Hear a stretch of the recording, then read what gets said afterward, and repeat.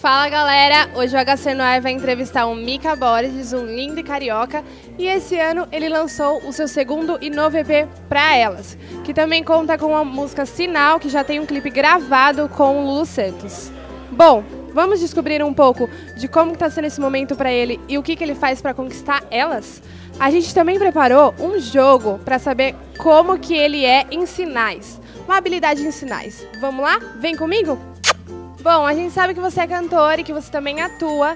Em 2009 você viveu Luciano em Malhação e também começou com Melanina Carioca. E eu queria saber se esses dois trabalhos te ajudaram a fazer o Pedro em Rebelde. Claro, sem dúvida. É, como ator, o personagem Luciano, é, apesar de ser um personagem completamente diferente do Pedro, é, na atuação, cada, cada coisa que eu coloco sempre tem um, um detalhezinho que eu vou levar para os outros personagens.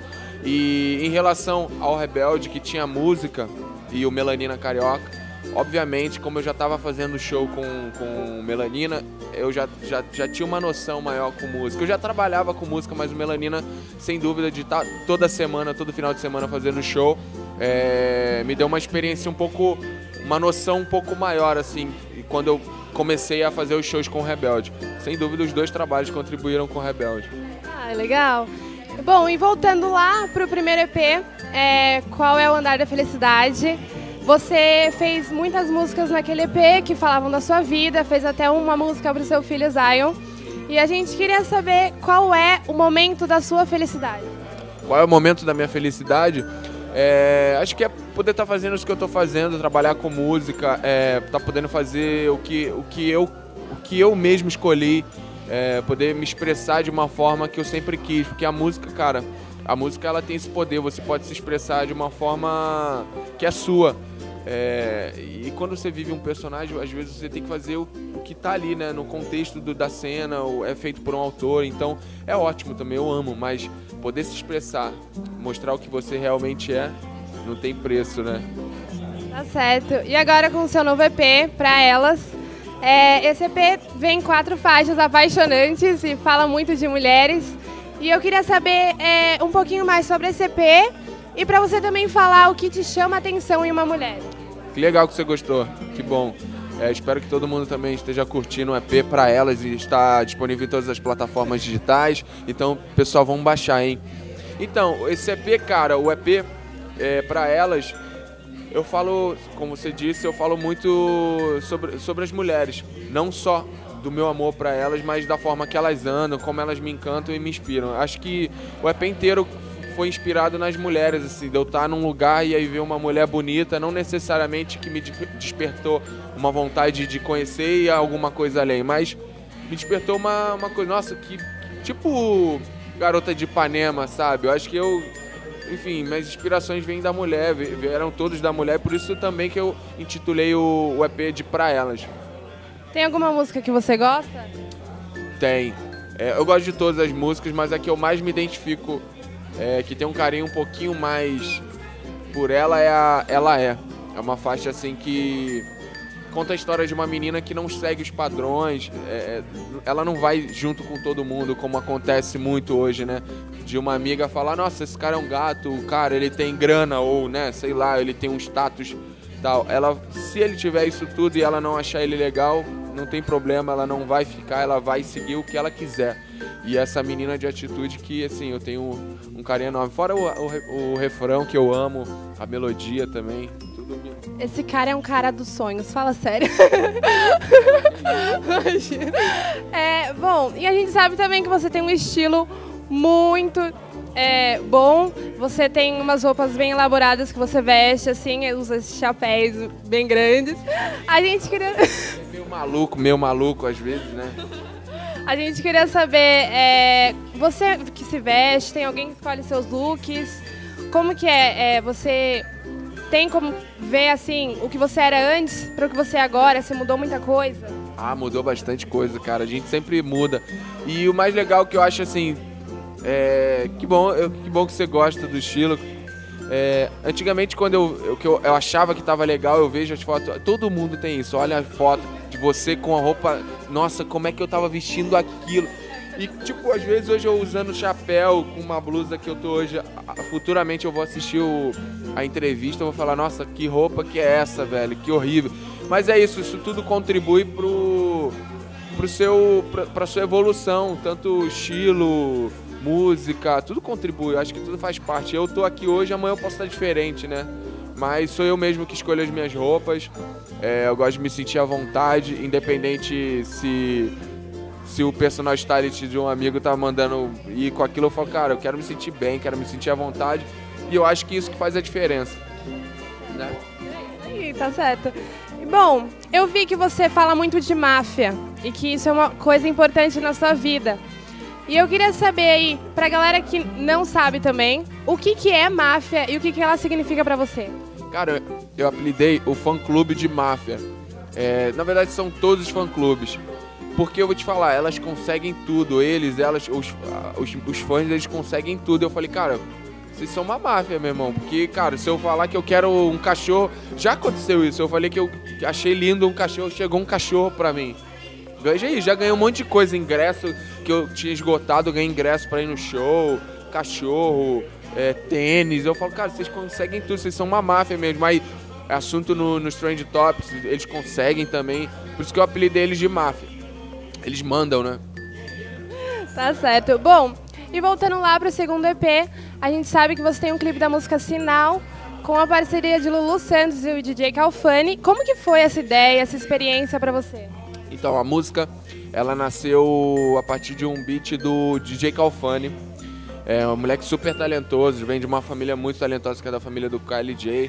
Ele é filho do KLJ. É...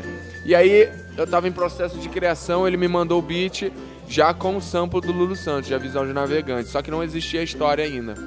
E aí eu falei, Calfone, gostei desse beat, guarda, não mostra mais pra ninguém que eu vou contar uma história. Aí, bum, já na mesma hora comecei a escrever a história, mandei, gravei em casa, mandei pra ele, ele falou, gostei.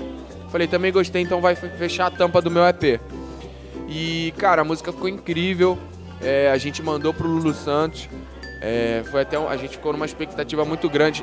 Eu já tinha dentro de mim que eu talvez não fosse liberar, eu ia ter que ou compor outra música ou tirar a voz do Lulu Santos. Mas aí ele gostou, o Lulu Santos se amarrou, foi no Twitter já já elogiou a música, falou que a música estava incrível. Cara, na mesma hora ajoelhei no chão, agradeci. A música tá incrível, cara. Acho que tá sendo bem aceita aí pro, pelo pessoal.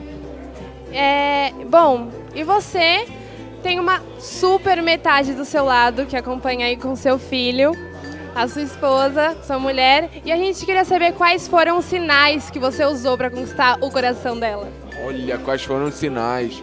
É, na verdade, eu conhecia eu conheci a minha mulher num show do Melanina Carioca, olha que louco. E eu acho que foi, foi uma troca de olhares, assim. Eu não tenho muito uma regra para querer conquistar mulher ou que a mulher me conquiste. Eu acho que cada um tem que ser natural. Se rolar, vai rolar. Claro que se a outra pessoa não percebeu, você tem que, de alguma forma, né? Não, não, não, não pavão, não aquele pavão que quer chamar a atenção da menina ou dar um tapa ou puxa o cabelo da menina.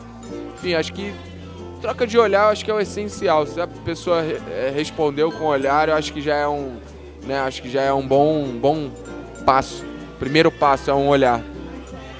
É isso aí. E agora eu tenho um game pra você. Você topa fazer? Lógico, agora, vamos. Aonde você tá? Tô te esperando aqui, então vem me resgatar. Faço sinal de fumaça pra você me achar. Oi, pessoal, estou aqui no cenário novo com o Mika para poder fazer o game. Será que ele tá preparado? Opa, tô preparadíssimo. Inclusive, vou fazer um penteado aqui na nossa amiga. Vamos pro game, vamos pro game. Meu Deus, vamos lá. Bom, como o Mika tem uma música chamada Sinal, o game será de mímica, sinais. E é isso aí. A produção escolheu uns filmes é, super populares e a gente vai ter que fazer sinais para poder descobrir qual é o nome desse filme super famoso. Vamos lá? Vamos lá então, vai.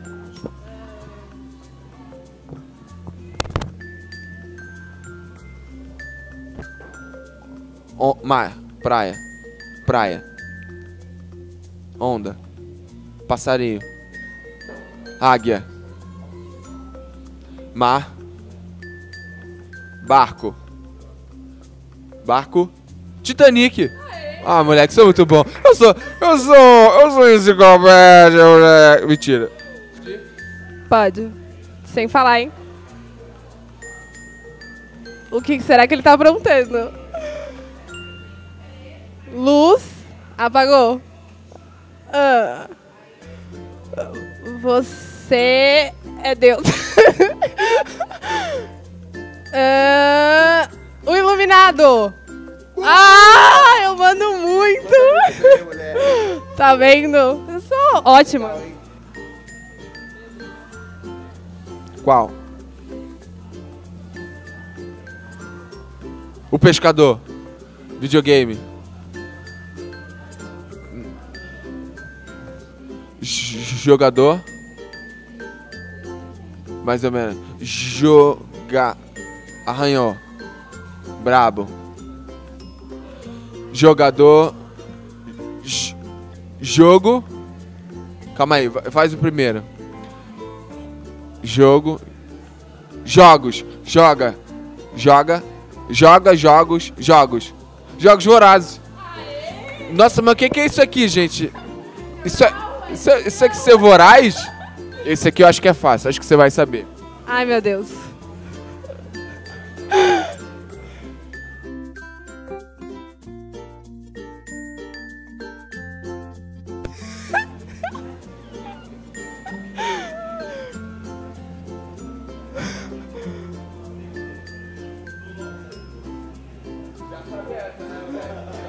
Gente, ele é um céu estrela. Ataque nas estrelas. Ahn, guerra nas estrelas. Uh! Metralhadora nas estrelas, é isso aí. Mas aí eu ia acabar com o salão do nosso colega, do meu parceiro, né, mano? Não pode só acabar com o salão do amigo. não dá. Rapidinho, hein, galera. Então vai.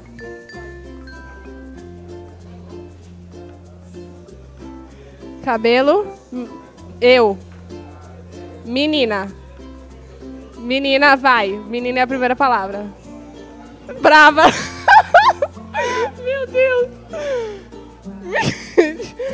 Menina malvada. É isso? Ele nem sabe qual que é o filme. Aê, meu irmão. Cara, você é muito boa. Cara, você é muito boa mesmo, de verdade. Além de ser uma ótima atriz, é muito boa, cara. Acho que a gente podia trabalhar em dupla. Vamos tatuar. Vambora. Vem aí, mímica selvagem.